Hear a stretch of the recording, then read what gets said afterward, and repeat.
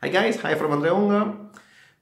Automated trading often mm, is seen as something extremely complicated and the main obstacle is uh, thought to be the,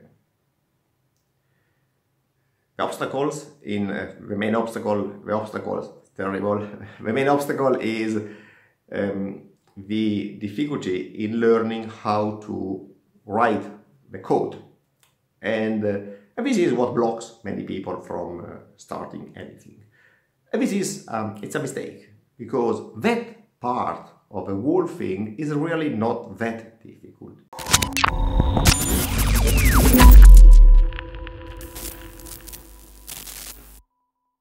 Anybody can learn how to put together the two, three lines of code necessary to write a trading system.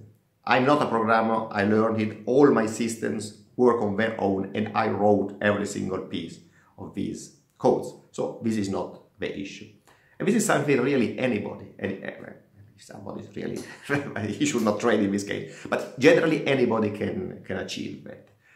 The main problem is that uh, people, many people, being afraid of, the, of a machine and therefore being afraid of coding the machine, has also a non-reaction when something goes wrong. And uh, what anybody should enhance is it's his capacity of debugging, which means to understand how to discover where there is, if there is any, a mistake in, in the process. And this is something that people most often are not able to do.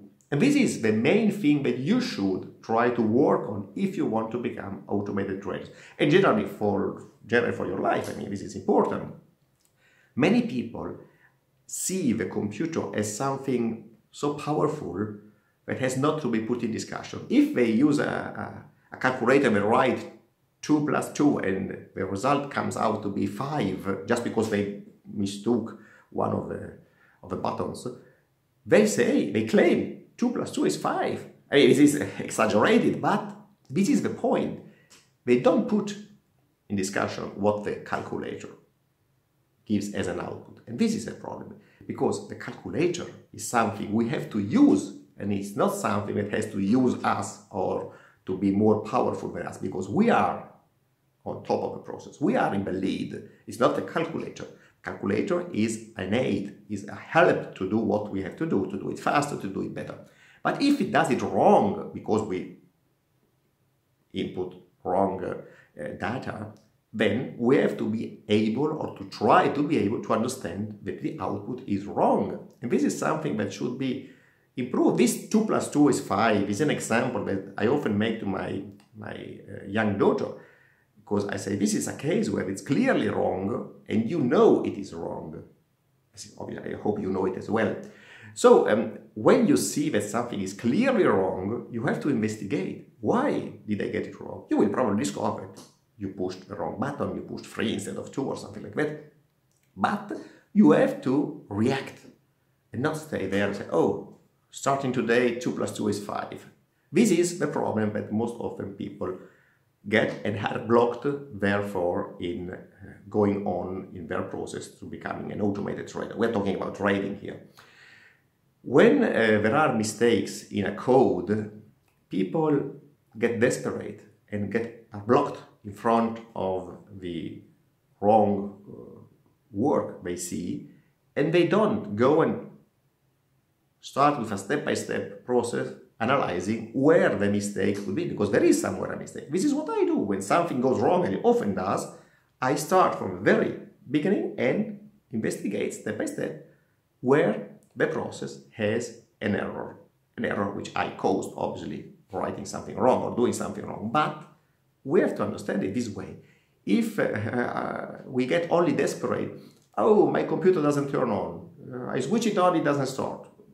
Do you have electricity? Do we have power? Oh, I didn't check.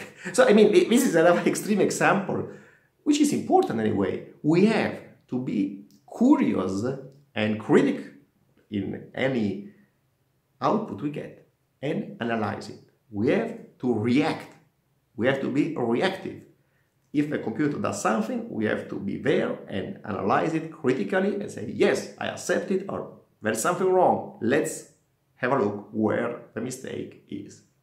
This is what you have to improve if you feel you are weak in that. And believe me, so many people are weak in this.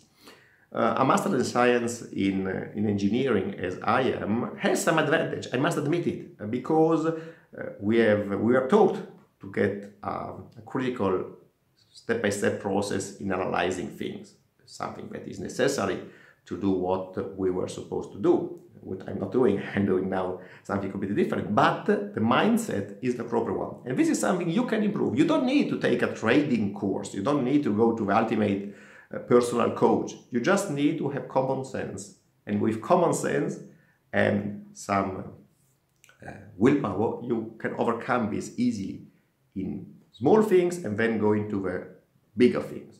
You have to be critical and say, where is the mistake? Let's start from the beginning and let's go to the end.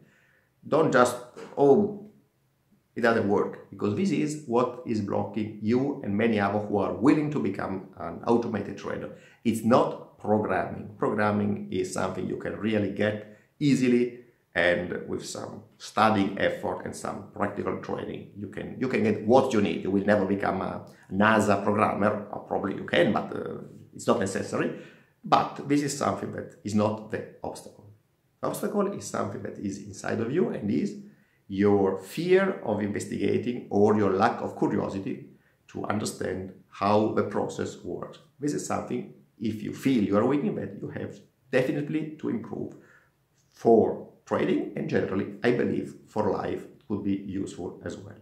Ciao for longer, see you next time. Ciao.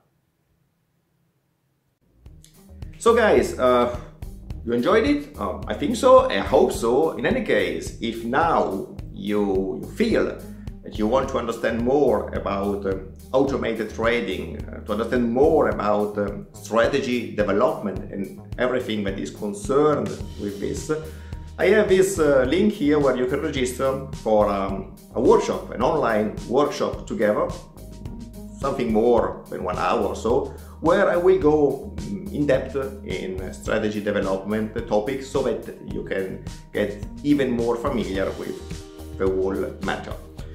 If strategy development is something you want to go ahead with, this is the link for you. Register, it's free, we meet you there and we can discuss about what it means to develop a training system.